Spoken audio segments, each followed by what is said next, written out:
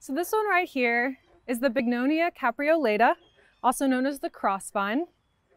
Um, it's in its own family, the Bignoniaceae family, and its hardiness zone 6 to 9.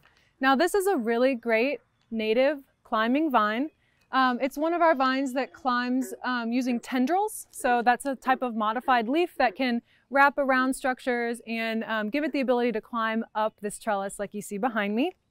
Um, it's evergreen to semi-evergreen, so it loses most of its leaves in the winter. Um, and again, it climbs by those tendrils. So if you'll notice its leaf, um, it actually has a compound leaf.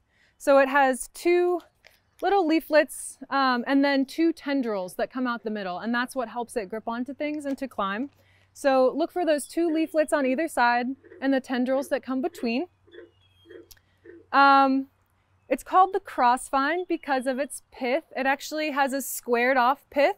So if you cut one of the vines and you look at the cross section, it appears that there's a cross or a plus or an X in the center of um, the vine. So that's why it's called the crossvine. Um, but most people are able to ID it from those very distinct leaves um, and from its beautiful flower display.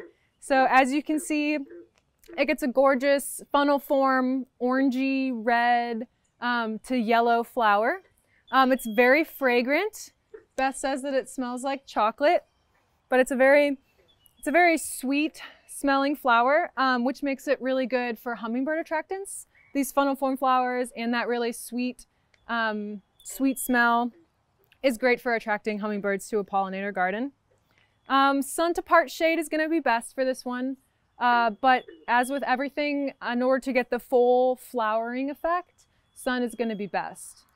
Um, so again, moist, well-drained soil is going to be best for this one, but it's a pretty good native vine used, as you see here, um, on a trellis as a screen. Um, you can see it's kind of making this pavilion a little bit more private um, or up a mailbox, uh, up a tree in your yard, something like that. Um, but this one's great. Look for this flower display in the spring, those two leaflets and a tendril, for your leaves. And um, then if all else fails, cut a vine and look at the center and see if you can find that cross-shaped pith. So this is your cross vine or your Bignonia capreolata.